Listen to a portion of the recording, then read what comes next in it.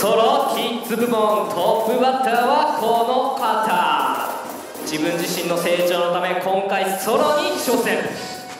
かっこよく見えるダンスとは。美しく見えるダンスとは。自分らしく見えるダンスとは。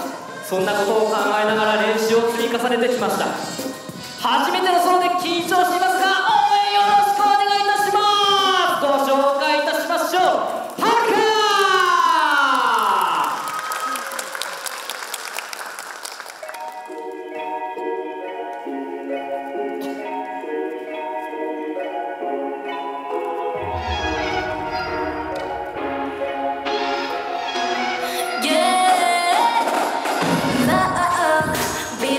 The for